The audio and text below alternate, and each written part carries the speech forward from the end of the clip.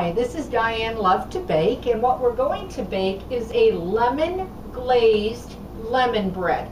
This bread really mimics really a coffee cake, so it's close to a coffee cake, and yet it really truly is a bread, but a great tasting bread. I've made uh, the recipe actually in my bread maker. Uh, you can make it by hand if you prefer, but I want to start off by giving you the recipe, and the recipe also will be below the video. You will need to make the dough one and one third cups of milk,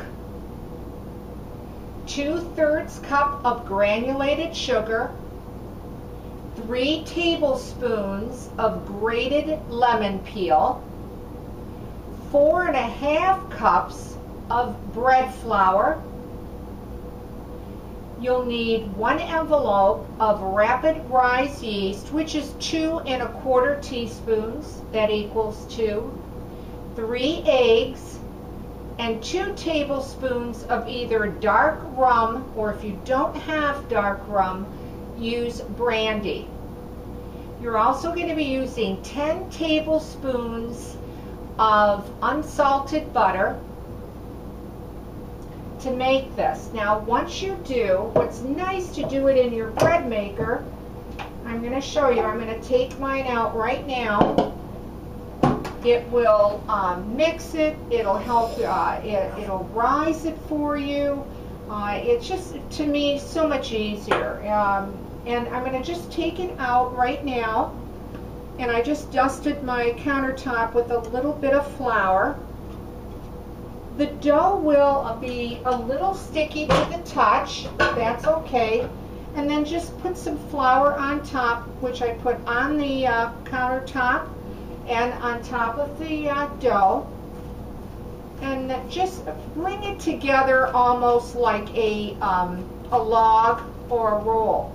Now you're going to need, I mean, an extremely heavily greased, uh, at least a 10 uh, cup uh, Bundt pan. Uh, you could you could use a tube pan if you prefer. The Bundt pan just uh, gives the uh, the mold, makes it a prettier bread, but uh, use the uh, tube if you um, you prefer. And then just try to start lifting the dough up. It's an extremely light and delicate dough and then just lay it right inside your uh, Bundt pan. Seal the two um, uh, pieces together. I'll show you that in a second.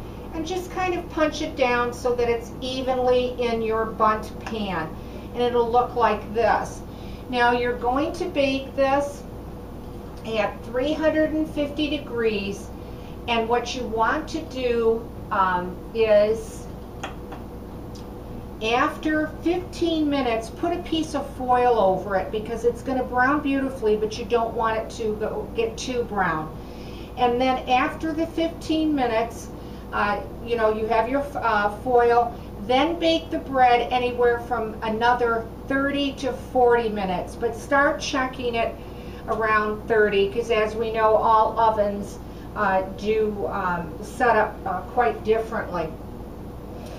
Once you get it in your Bundt uh, pan, just as I have, then cover it either with a towel or some plastic wrap and let it double uh, in, uh, in size before you put it in. It will have to rise in this pan. Uh, being I made it in on the dough cycle in my bread maker, it has risen once, but it will need to be risen another time in the Bundt pan and that's going to take you probably about an hour or maybe hour and a half depending on the temperature in your kitchen. I have one to show you. Now what you'll want to do is once the bread comes out and you put it on a cooling rack, you'll want to make a glaze for it. And what I did was I actually made one and one third cups of powdered sugar and use three tablespoons of uh, fresh lemon juice. And I made um, the glaze for the bread. And you can see how beautiful it came out and extremely tall this bread is. Um, I'm going to cut a piece for you to show you what it uh, what it looks like. This is uh, great with a little bit of butter on it, or just you know to eat it alone with a cup of coffee at breakfast. And here's the bread. It's going to be extremely light and airy, and yet it has a nice crisp crust to it. It just makes a beautiful bread. No one will really think it's a bread. They're going to think it's more a coffee cake.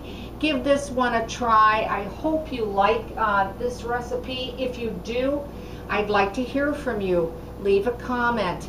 And as always, thanks for watching and please subscribe.